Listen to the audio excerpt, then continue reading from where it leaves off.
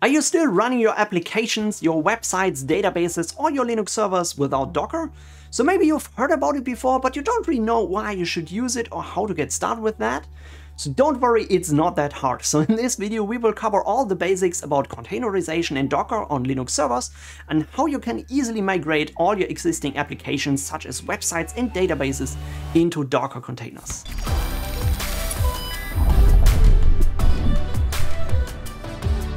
Hey everybody, how you doing? My name is Christian and I'm creating tutorials and content for IT professionals. So if you want to learn more about containerization, Docker, Linux servers, DevOps processes and all this stuff, please don't forget to hit the like button and of course subscribe to the channel. And in this video I will explain to you why Docker is such an amazing and important tool for any IT company nowadays and why every IT professional now should take a look at this. And of course I will also talk about some of the fundamentals and how you can use it to migrate your existing applications such as websites or databases into containers. And thanks to Portainer who is the sponsor of this video, we will also take a look at how you can easily manage all your Docker resources on your Linux server in a nice graphical web interface. You also don't need to write down any commands or take notes somewhere, just have a look at the video description below, it will take you to my written blog article, there you can read the full write-up and just copy and paste all the links and the commands. Okay, so enough for the introduction, let's just start and talk about what Docker actually is. So first of all, Docker is a free and open source tool to containerize applications. And containerization means we can run applications isolated from each other and deploy them in packages. And this has some big advantages over the traditional deployment or installation process of applications on our servers.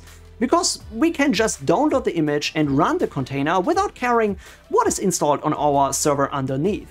We can always be sure that the application will run as intended, so no matter which Linux distribution we are using or which software and packages we've installed in which version on our server. And some people may now say, well, this sounds pretty similar to virtualization because it also provides us in a layer of abstraction between the host and our applications.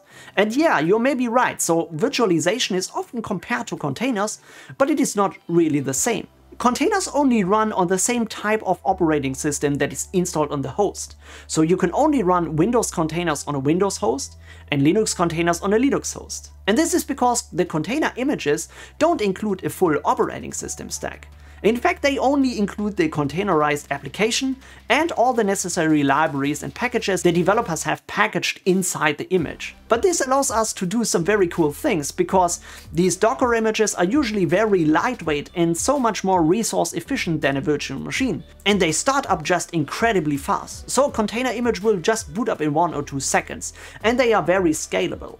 Therefore, containers are often used in modern IT business, for example cloud infrastructure, where scalability and high availability is a very big topic. So because of all these advantages, containerization has become a very common and essential standard in modern IT business. And you can imagine it is nowadays very important to learn this stuff. So no matter if you are a software developer who is developing applications nowadays in containers, or if you are a sysadmin who is managing infrastructure or a cloud engineer. So nowadays you will always get in touch with containerization somewhere in your IT career. And therefore this is a topic I also often cover on this channel because I believe this is already a very essential and fundamental skill in modern IT business. So I hope you are now excited about Docker just as I am and you just want to get started with that and just take a look how it works and how you can easily use that on your own servers and migrate your application inside these resource efficient containers. So first of all, let's download Docker and install that on your local workstation. If you want to try it out on your Windows machine, for example, as I said, Linux containers cannot natively run on a Windows operating system. But don't worry, there's an easy solution to that. Because Microsoft has just recently released the Windows subsystem for Linux, which is a small virtual machine that can run a full Linux operating system inside Windows 10. And to know how to do that, you can simply just go to the Docker homepage and install the Windows subsystem for Linux with a Docker desktop backend. So just read this article and follow all the instructions. It's not very difficult. So just install Windows 10 in a specific version, then just enable the WSL2 feature. For detailed instructions, just follow this link to the Microsoft documentation and then just download and install the Linux kernel update package and then you can run an Ubuntu distribution or another distribution inside your Windows 10 machine with Windows Subsystem for Linux, which is really awesome. I've already prepared this, and if you want to know how to set up your Windows terminal, awesome like this here with ZSH and some custom fonts and icons, then just check the link in the video description. I've put you a link to my tutorial where I show you how to set up this. It's really awesome, so try it out. And to install Docker, you can just go to the official homepage and just search for this article here, install the Docker engine. So you can see it is supported on many different platforms. It also shows you how to install that on a Macintosh or on a Windows system with Docker Desktop. And for any servers like CentOS, Debian, Ubuntu or whatever, you can just click on this and follow the instructions. It's not very difficult. You basically can just follow everything in this article here. You need to add the official repository of Docker first to your server, add the official Docker GPG key, then install the Docker engine and then you should be fine. And if you install Docker, you should always make sure that your user has the correct permissions to execute any Docker commands. And you can easily just add your current user to the Docker group to give the user the right permissions. So just type in sudo user usermod-ag for add group, then the Docker group and your username, in my case, xcad. And you usually need to log out and log into the shell again, and then you should be able to execute the docker command. For example, let's just execute docker double dash version to check the current version, and if you see a screen like this, it should all work. And we can now just start deploying our first Docker containers. And as I said in the beginning, we don't need to install any applications anymore. We can just download a Docker image with our desired application and just run it. Uh, docker has also simplified the whole process for us because we can just run a container and if we don't have download the image, Docker will automatically search for that image on the Docker Hub and download it for us. So for example, if you want to run a simple application to just test and try it out, just execute docker run hello-world. So this will automatically download and run a test container. You can see hello from Docker. If you see a message like this, everything works correctly and it should also immediately exit our test container. So can you see how simple this is? It is not really difficult. And this is basically the way how you can get all your applications you want to deploy inside containers. If you want to find some useful applications, for example a web server with Nginx, you can of course also do that. So I would recommend you to go to the Docker Hub, because the Docker Hub is just like a public repository where you can push and download Docker images. So for example, let's just search for Nginx, which is a web server. And you can see there is the official Nginx web server Docker image. It is updated 15 hours ago. So when you click on that, you will usually find some detailed instructions how to use that Docker image and some commands how to set up stuff. But don't worry about these complicated commands, I will show you that step by step. So first of all, let's just run a simple web server. So to do that, just type in docker run and then we also need to expose the port 80, because as I said, these containers are isolated from each other, and Docker also isolates the network stack. So if you want to get access to any container, you always need to expose the correct network ports. So in our example, a simple web server without HTTPS will just use the port 80, so we will expose the port 80 and we will run it in the background with a dash d parameter, and then we want to run the nginx docker image. Because I've previously downloaded and tested this image, it won't download it again, so it will just run our container.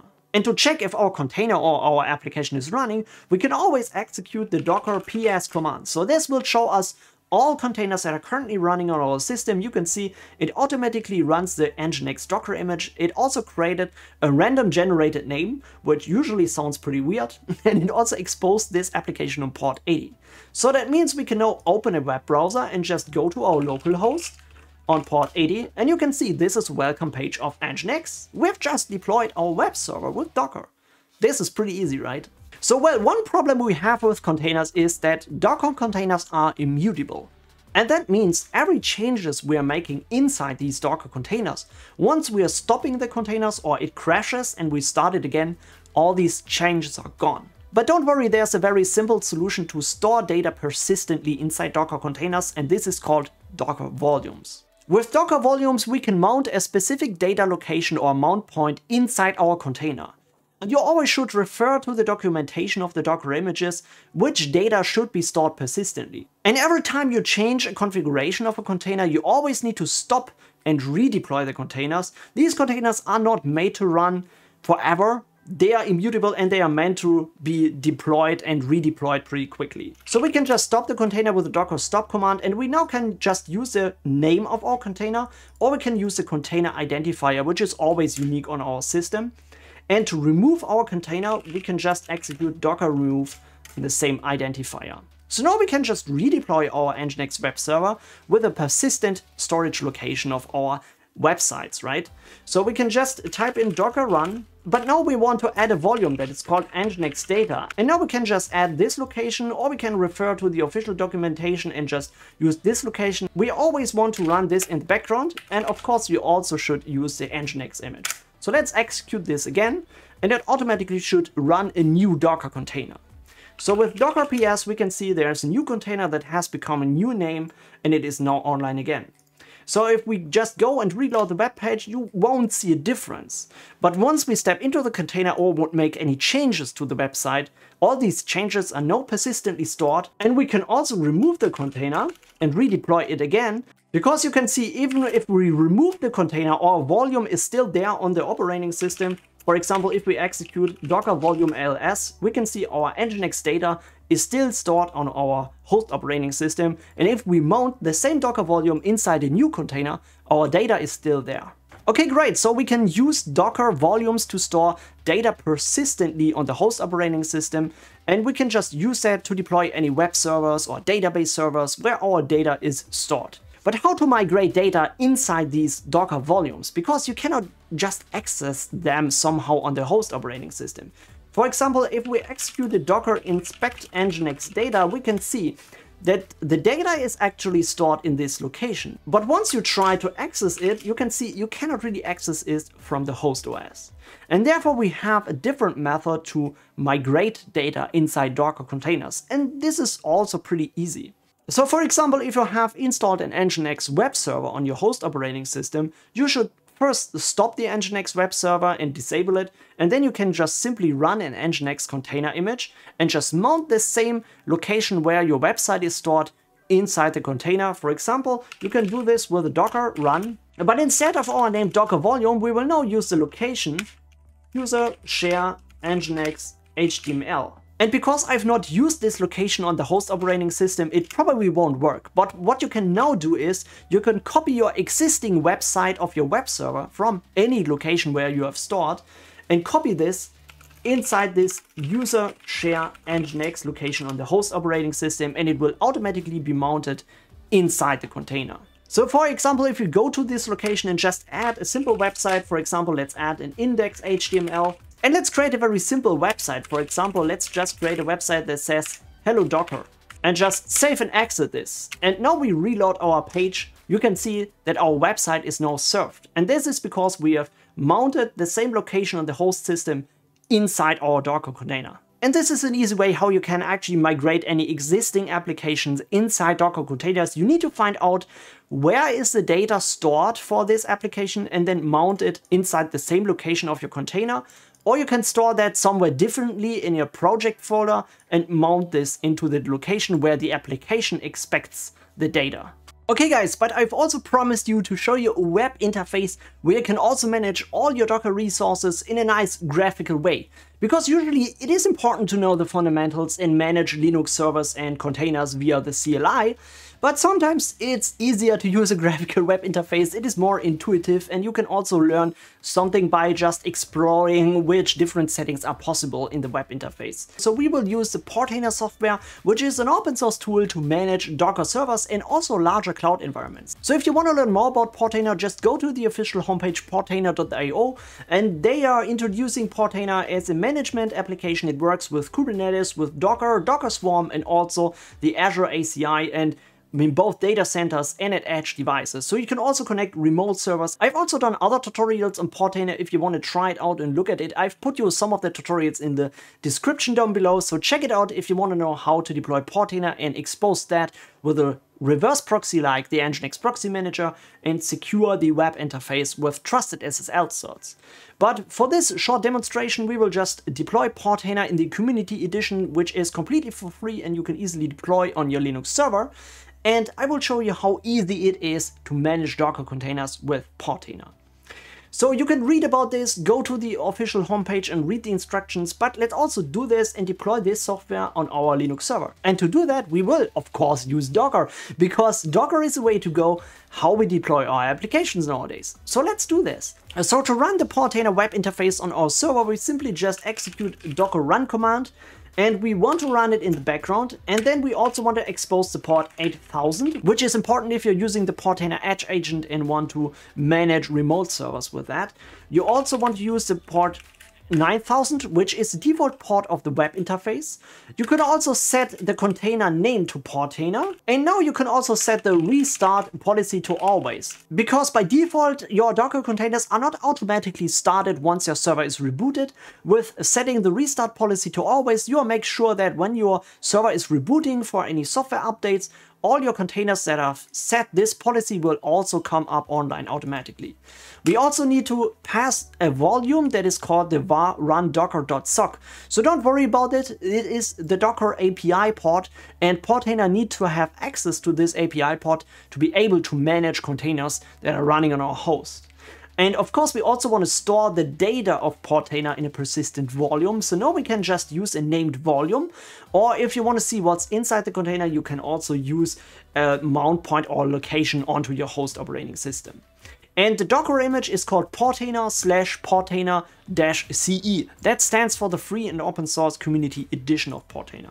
So let's hit enter and you can see it's now up and running. If we now go to the local host, we can see that if we go to localhost and enter the port 9000, we are now on our Portainer web interface. And first of all, we need to create new initial administrator credentials here. So just set up a password that is probably a bit more secure than this one here. And let's just create a new user. So now we need to select how we want to use Portainer to manage which resources. Because you cannot just manage your local Docker environment, you can also manage remote environments or a full Kubernetes cluster, which I would probably also cover on this channel in the future. So make sure you are subscribing. Okay, so let's manage our local Docker environment. And now we need to just simply connect to it. And now it's up and running. We can now select our local server and we have immediately access to all resources of Docker that are running on our system. So we can manage all containers. You can see I've deployed some test containers before. You can still see our Nginx container we have just recently deployed. And you can also see we can manage all the images that my system has downloaded previously. We can manage Docker networks which we will probably cover in upcoming videos, and also Docker volumes, where you can store your data persistently. So one thing that is very, very useful on Portainer is we can not just add a new container, we can also edit existing ones. So if you remember in the CLI, we always needed to stop and remove old containers if we want to change anything of the configuration inside here. But on Portainer, we can just simply click on our web server. So for example, if we want to add the restart always policy, we can now just click on duplicate and edit and just go to the restart policy and click always. So now we can just simply deploy the container and Portainer will automatically replace the existing container and will redeploy it with a new configuration. So this is pretty comfortable and very nice if you want to manage your own home environment, but Portainer has also a business edition where it adds some multiple features like role-based access and all this stuff. So if you want to use that in your company environment, you definitely should go to the official homepage and read about the business edition of Portainer. It's very, very cool. Check it out. Okay guys, so I hope you learned something new and you are now excited about Docker and want to try it out and you know how you easily can migrate all your existing applications on your servers now into Docker containers, which are pretty awesome. So if you enjoyed this video, please don't forget to hit the like button and of course subscribe to the channel if you want to watch more content and tutorials for IT professionals. And if you have any questions at any time, then just join our awesome Discord community. We have a very great and friendly and respectful Discord community of many talented IT professionals. So just try it out. You will find a link in the description below. So thanks everybody for watching. Enjoy the rest of your day. Take care of yourself and I hope I see you soon. Bye bye.